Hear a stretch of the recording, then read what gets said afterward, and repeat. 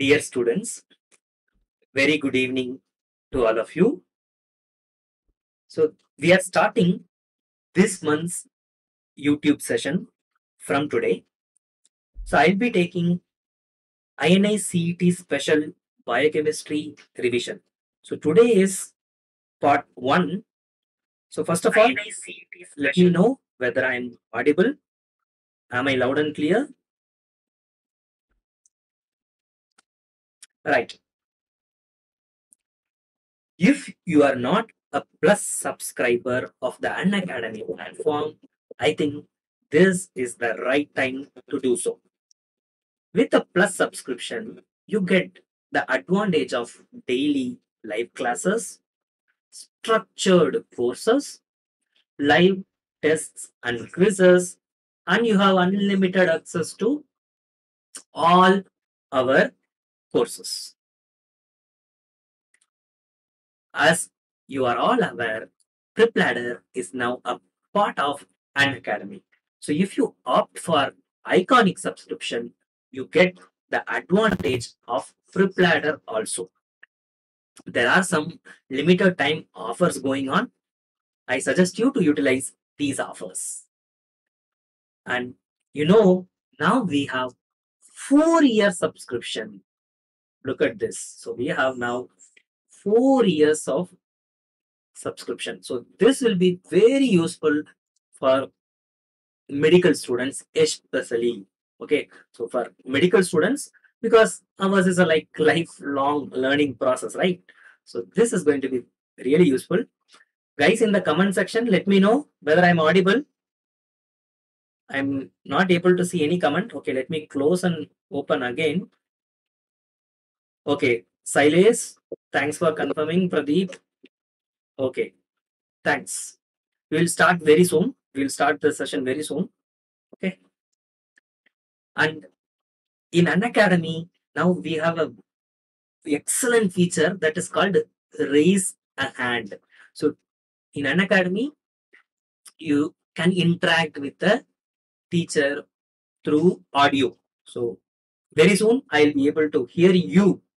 So Nirupam Nath, thanks for confirming. See now I just read your messages. Very soon in the Unacademy platform, I'll be able to hear your voice. And in this way, the communication becomes very easy. So I will be able to clear your doubts very quickly. So these are all the integrated clinical batches which are about to start. So 30th June. So very soon it's going to start. So that is day after tomorrow. These batches are starting. These are exclusively clinical batches. See, we have another batch which is starting NEET PG high yield revision batch. And target next 2022. So this is going. So I'll be taking biochemistry in this. So with this, we are going to start today's session. Let's start with the clinical question. All of the following are features of von Hippel-Lindau disease except. Tell me which is not a feature of von Hippel-Lindau disease. VHL.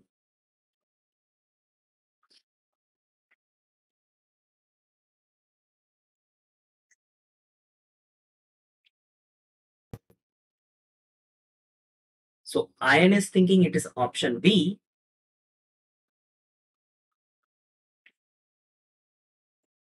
So, Nirupam is also thinking option B. Nirupam? Right, let me see. What about others? Give me the answer, guys.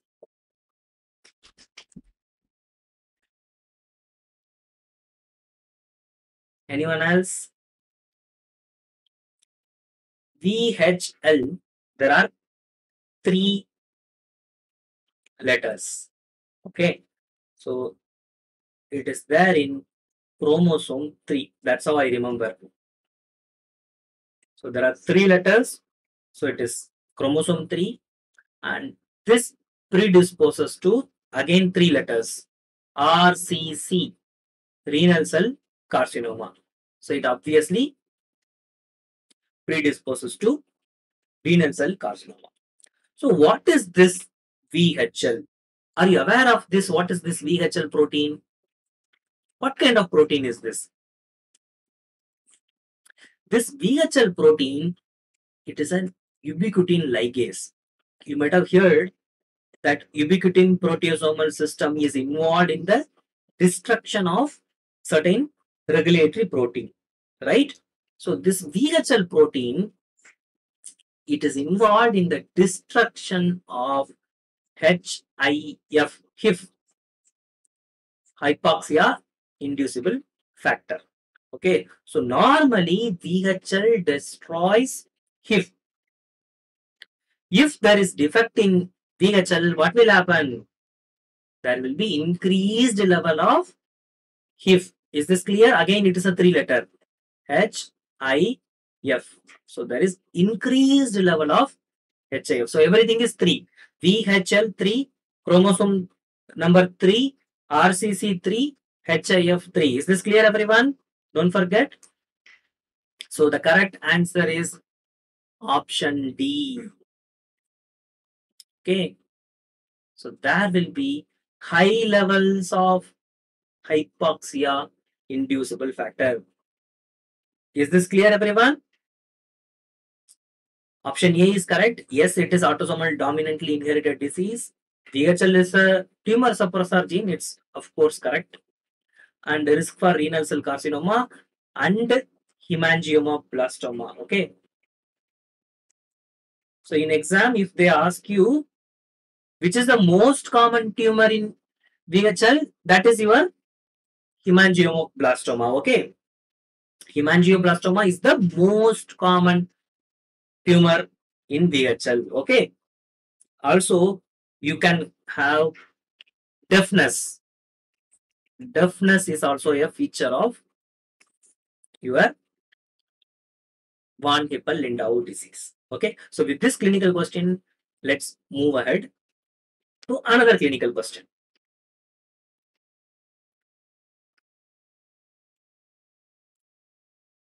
Try to answer this.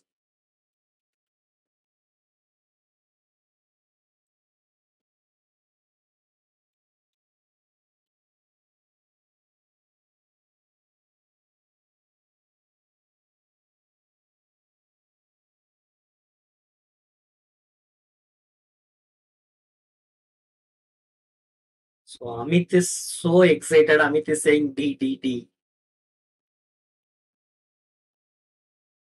So what is happening? The regression of milestones.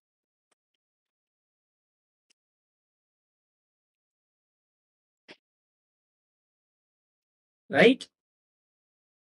And female. So in a female, regression of milestones. So it's going to suggest what? See, let's see. Cerebral palsy. Cerebral palsy, you it won't wait till four years, now. So cerebral palsy, there should be some birth injury. You have hypoxic ischemic encephalopathy, and something should be there, right? So this is not cerebral palsy. Phenylketonuria, again, the mental retardation will be there in the first few months itself, right? It should start in the first few months itself. Autistic spectrum of disorder. So in autistic spectrum disorder, what will be there? So there will be like behavior, right? So it's not exactly autistic spectrum of disorder, right? So this most probably is Rett syndrome. Okay, so this feature is not typical of your autistic spectrum disorder. So it is Rett syndrome. Is this clear? Because you have regression of milestone. So this regression of milestone, he points out. So in autistic spectrum of disorder, you don't have any regression in the milestone. Remember, there is no regression in milestone in ASD. Right. Okay, this is a proper nutritional biochemistry question. Try to answer this.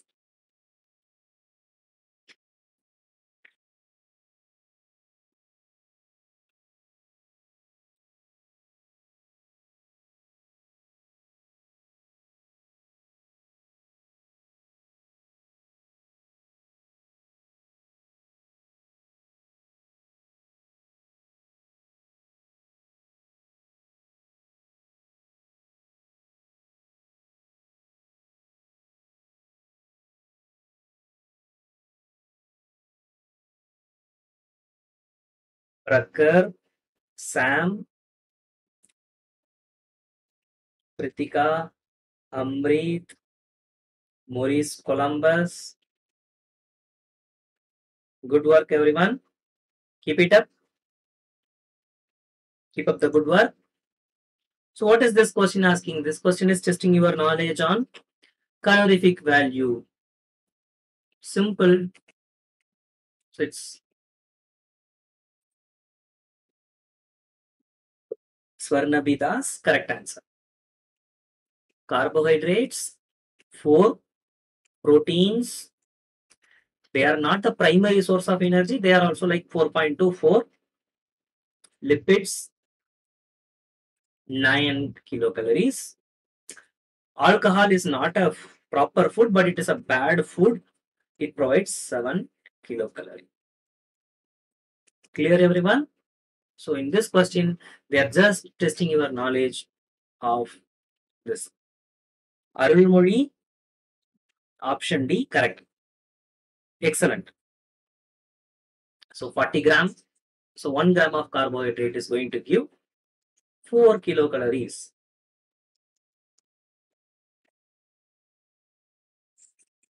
Okay, simple.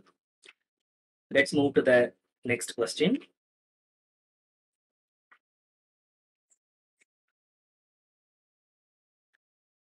Okay, this is a question on the topic of medical genetics. I want you to be aware of this new things and all. So these topics, most students, they just ignore. So there is a vast topic called medical genetics. Hmm.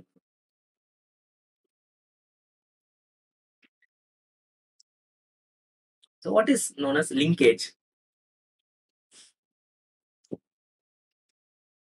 Okay, so here after during it's meiosis, okay? During meiosis. I'm hiding meiosis. Hmm.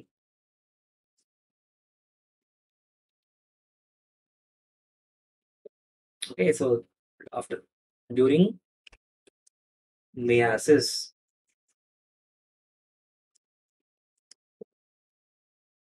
Still it's hiding. Tell me the answer. So when will you say that two genes are linked? Hmm? So you know in meiosis there is something called crossing over happens.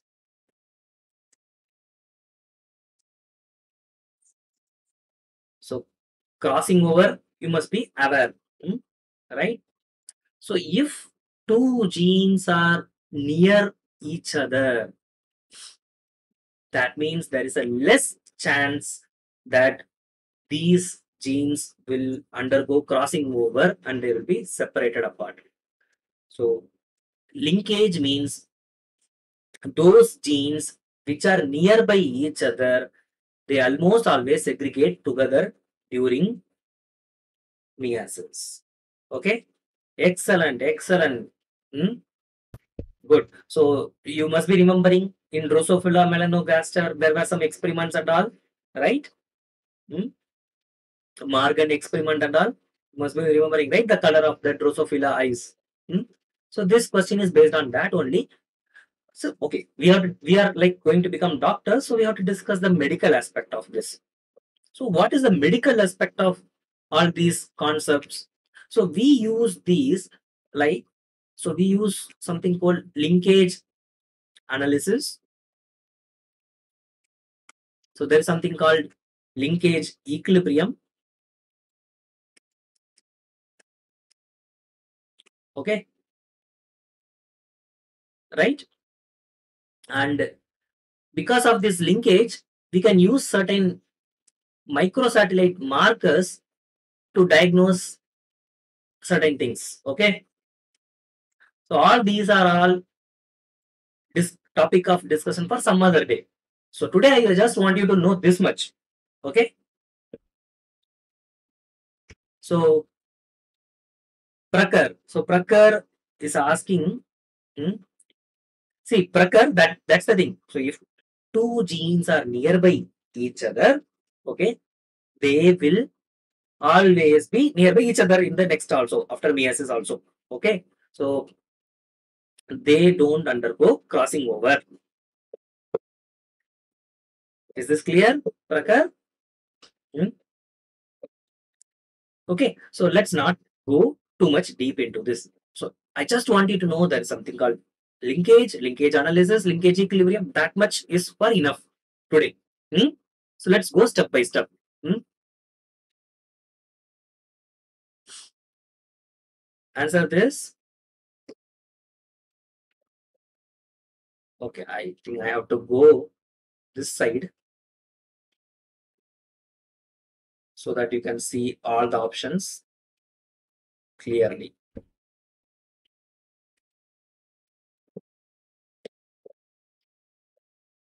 Are you able to see the options clearly? So what is the role of promoter?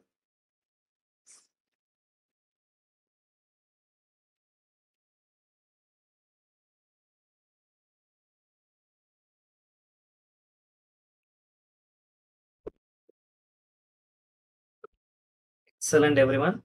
So I can see that you are all answering nicely. Varun, Prakar, Krishna, Shushrut, Swarnabi, Neeraja. Hi, Neeraja. Sudipta Panda. Hi, Sudipta. Morris, Anish Parthiban. Everyone, you are answering correctly. So, promoter is a region of the gene which is involved in binding to RNA polymerase and transcription factors. Excellent, guys. So there is no need of discussion in this. This is a basic question. Good evening, good evening, Sunita. Good evening. Arulmali, correct answer. So what is A he is asking? Allow for alternative splicing and recombination of genetic components. See, for so for alternative splicing, there are certain signals. Again, Maurice, don't worry, don't do not go into this much deep. Okay, so when you are focused on INI CET or NEET PG entrance exam, you should focus on those topics which are high yield for exam purpose. Okay. Next. Which of the following process is not a type of RNA processing carried out by eukaryotes?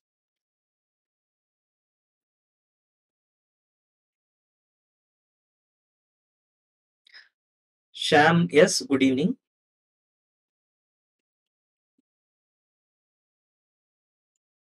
So, which is not RNA processing, which is not a method of RNA processing? Tell me.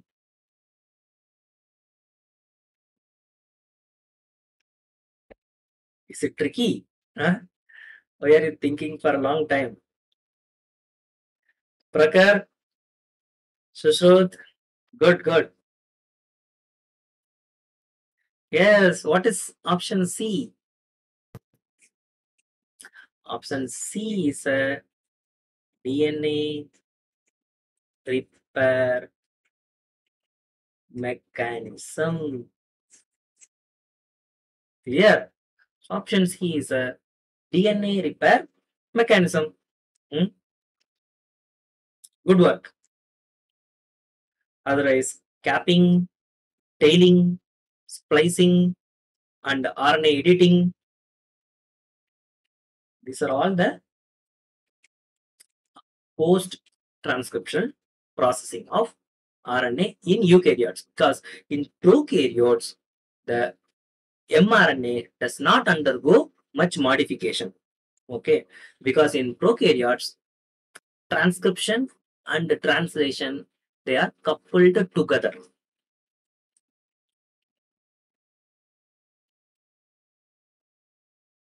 So this is based on population genetics question.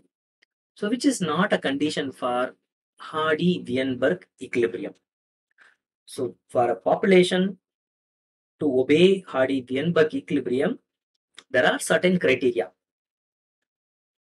So which is not a criteria? Vinod Kumar? Yes.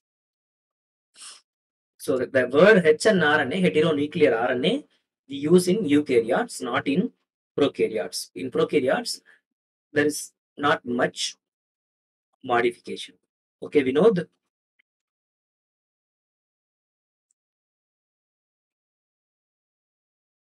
So tell me,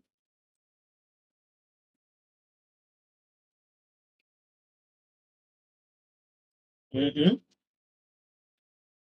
So, what are the conditions for Hardy-Weinberg?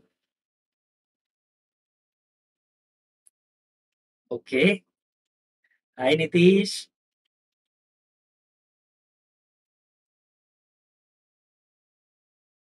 So, it seems you are having doubts. Everyone is answering A, B, everything. D also. Hmm.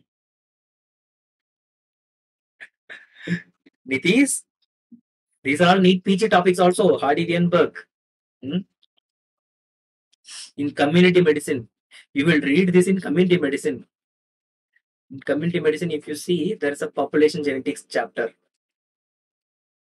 Preventive and social medicine, right? So in that book also you will find this. Okay, so you will find all the criteria.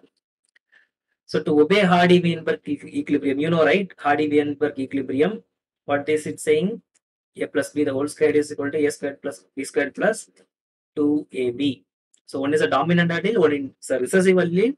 So over a period of time, the frequencies of these alleles, the phenotypes, they are constant. That is what this is saying.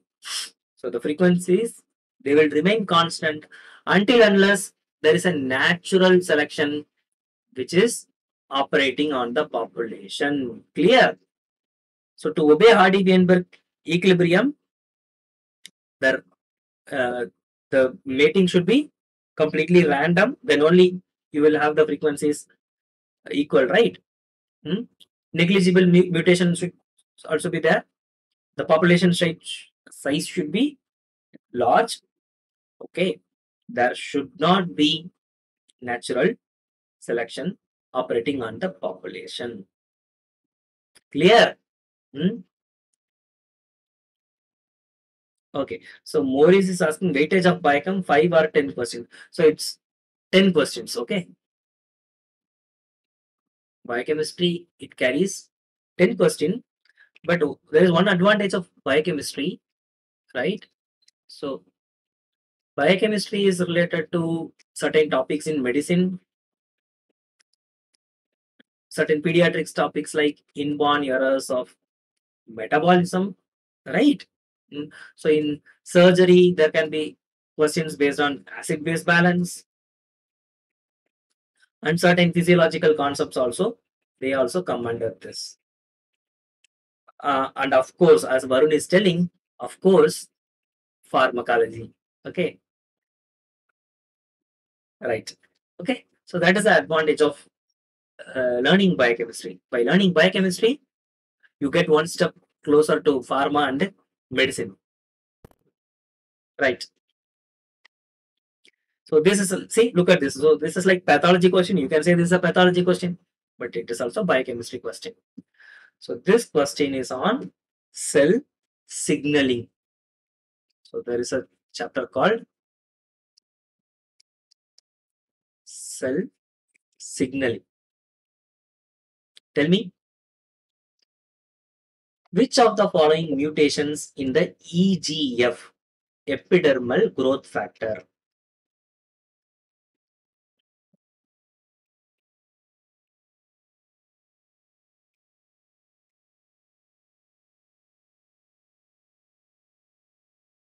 pathway could lead to increased proliferation of cells.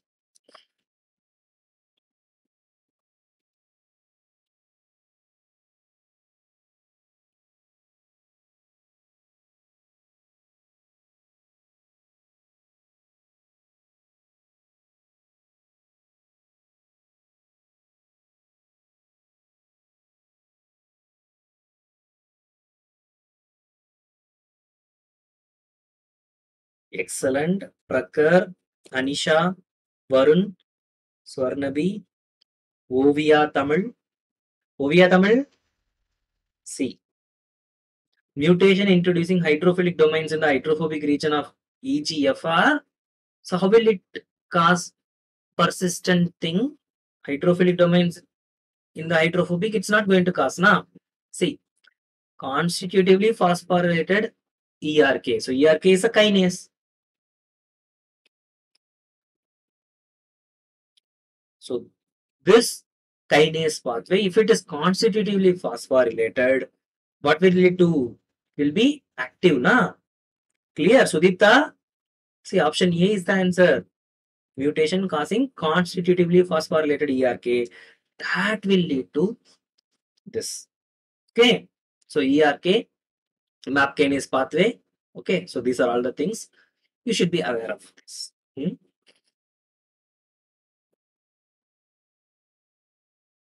So if hydrophobic region of EGFR, if there is hydrophilic domain, that will lead to what will happen?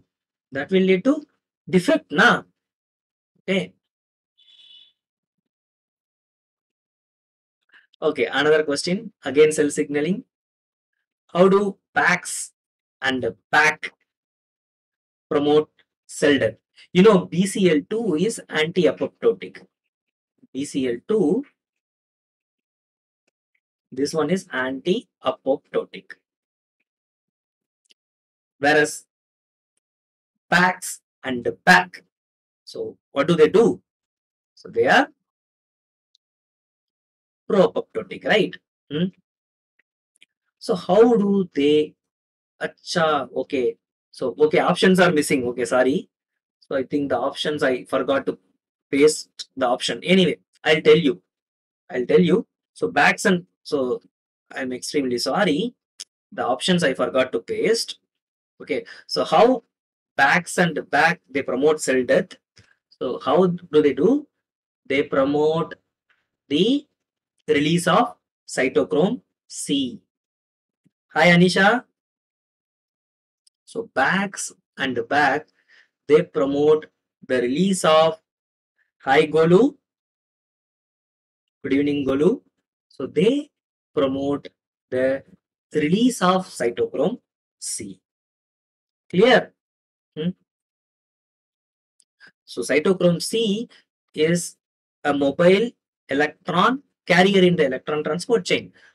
So once it comes out of the mitochondria, that will lead to apoptosis. Okay? Cytochrome C is a heme containing protein. Right. Let's move to the next question. What provides the necessary information to specify the three-dimensional shape of a protein? So tertiary structure. So what determine the tertiary structure of a protein? Tell me.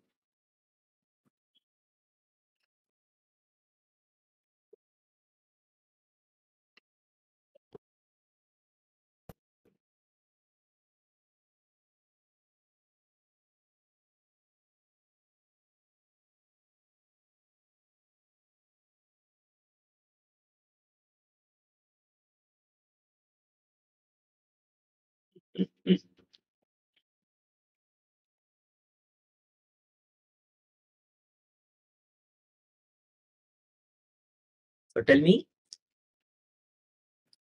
what provides the necessary information to specify the three-dimensional shape of proteins. So information it is asking. Okay. What is it asking? It is asking information.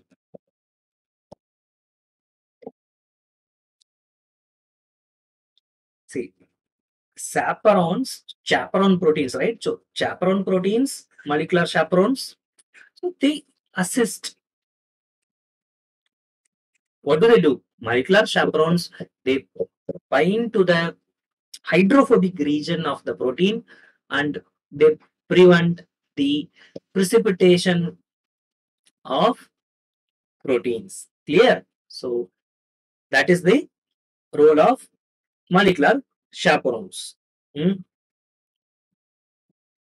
Clear? Hmm? So that is the role of this chaperone proteins. But what about the necessary information? So the necessary information to specify the three-dimensional shape of proteins. So that is provided by your primary structure.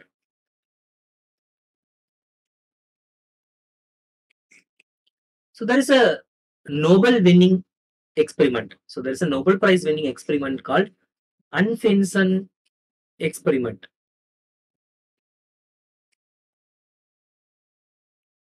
Okay.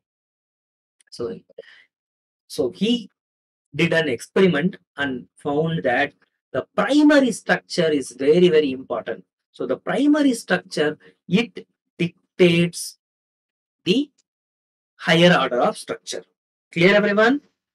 So primary structure determines secondary, tertiary structures. Okay. So the answer will be option C. Let's see who, how many of you answered option D. Option C. Sudipta, good. So what about option A? So this is quaternary structure. The protein peptide bond, peptide bonds that maintains the primary structure. It maintains the primary structure.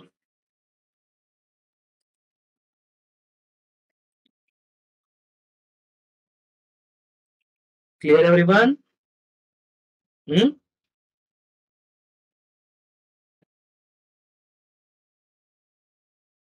Right. What two important second messengers are formed when phospholipase C cleaves phosphoinositide 4,5 bisphosphate, that is PIP2.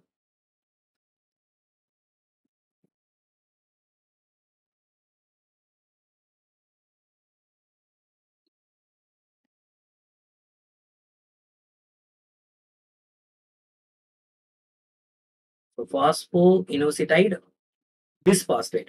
So here there is phospho, there is another 2-phosphate. So once you cleave, so it becomes inositol, triphosphate and diacylglycerol. Is this clear? Very simple to remember. Phospho, so in the phospho you have one phosphate. Now, so again two phosphates are there. So it becomes inositol triphosphate, then diacylglycerol.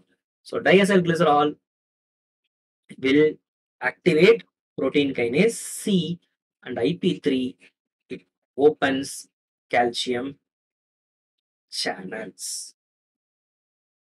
Clear? Good. Good work everyone. So is there any doubt so far? So we are in the completion portion of this class. So we'll complete in five minutes. So is there any specific doubt, any feedback, suggestion for tomorrow's session? So, so we'll continue 9 p.m. every day. Okay, so tomorrow also will I'll start 9 p.m. So tomorrow and day after tomorrow. So every day I'll come 9 p.m. Okay. Uh, Bishwadeep Bhattacharji. So Bishwadeep is asking why not option D. So Bishwadeep, I think did you join?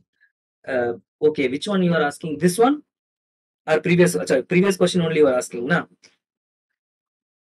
The proteins interaction with chaperone proteins. I think this is what Bishwadeep is saying. This I explained Bishwadeep. So I told already that chaperones they assist in protein folding. They are not containing the necessary information. Are you understanding? The necessary information is there in this. Okay, so information is there in the primary structure itself. We are going to discuss some more questions. We are not leaving. Okay, guys, stay in the class. We are not going to finish now it's a Five more minutes are there. Hmm? Wait, wait. We are still Continuing. So which is the death signal? Simple question. Okay, Prakar wants inborn error of metabolism questions. Okay. Varun wants bioenergetics question, right? Bioenergetics is my favorite topic. Many of you know. Shushrod, Neeraja, Prakar, Deepak, Ovia, Sudipta, Varun, Arulmoli, Dr. Farhan, her hijab. Good work. Bishwadeep. Okay. Great work. Okay. Try to answer this one.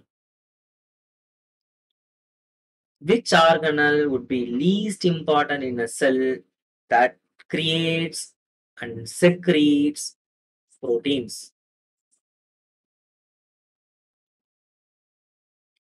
So yes, Deepak, ubiquitination is a ATP dependent destruction of proteins.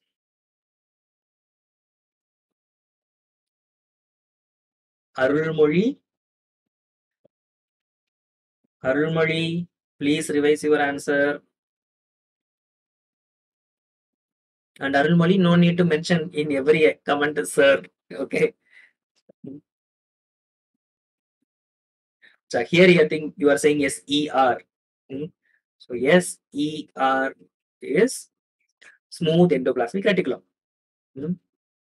So smooth, uh, smooth endoplasmic reticulum, this is involved in lipogenesis.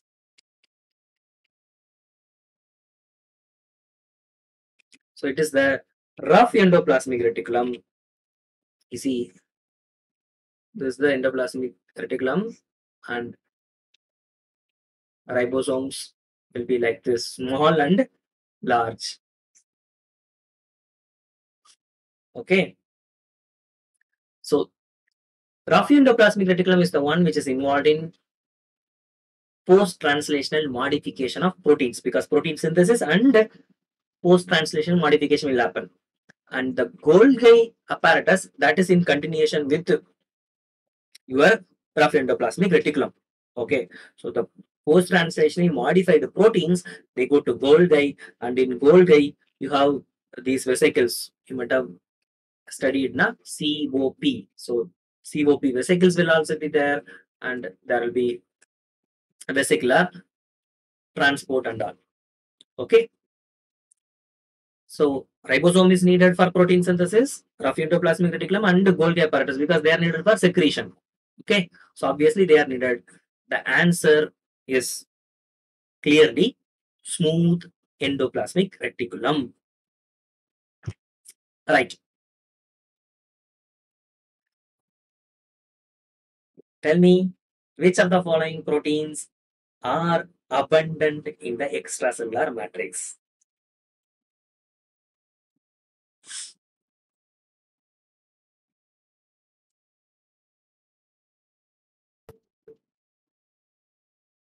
We will complete with a simple question. Good. Varun, Deepak, Shushwat, Sudipta, Vishwadeep, Prakar, Neeraja. Great work, everyone.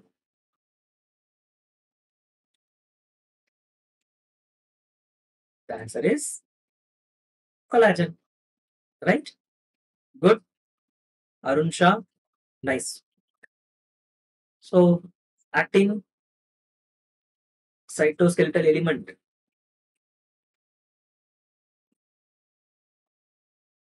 Tubulin also. What about myosin? Myosin and all, it's a molecular motor. Okay, so they are all inside the cell. Collagen is there in the extracellular matrix. So, as is they be saying, it's an NCERT question. Yeah, true. So, sometimes I want to put some simple questions also. Okay, so because there will be learners in various stages. hmm? So, various stages of learning process will be with us. So, there will be some expert, there will be some beginner. So, I want to uh, encourage all of you guys. Okay. So with this, I think we can complete today's session. So we have a lot of questions. Don't worry, we will do it. Hmm? So tomorrow, 9 p.m. I want all of you to join. So guys, I highly encourage you to go for Unacademy plus subscription. So if you are interested in plus subscription, you can use this code Karti Live so that you will get instant 10% discount. Thank you very much everyone for joining today's session. I wish to see all of you tomorrow 9 p.m. Good night, good night, good night everyone. See you guys. See you tomorrow.